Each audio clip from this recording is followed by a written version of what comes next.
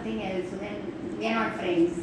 no, so with kids, you know, they have sometimes those kind of uh, this thing. So to give them that understanding that each one may have their own favorite color.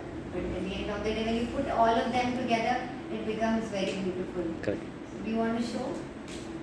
So I've drawn some things. Your thing is huh? Yeah, so this is a entrance to a garden. Wow. A colorful entrance to a colorful garden. I've drawn a blue cloud. Blue, like when I think of blue, the clouds come to my mind. Or red, uh, I associated with red uh, roses. Uh, yellow is obviously sunshine. It uh, makes you happy, and I like drawing this kind of a sun. I don't know. it's a smiley sun.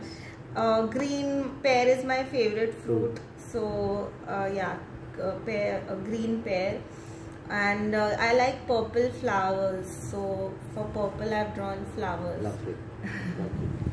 So I have got uh, uh, a photo of uh, of uh, just wanted to bring out uh, my mom is not anymore but uh, I know when she would get angry uh, I would take her to the garden and as a child and uh, al- always make her smile. So I put the red I used and she's got some oranges is my favorite fruit.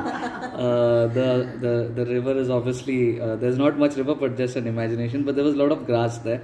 And uh, as Repti rightly said the sun always keeps shining. And I love grapes. uh, Uh, and that's how I wrote purple grapes Purple. yeah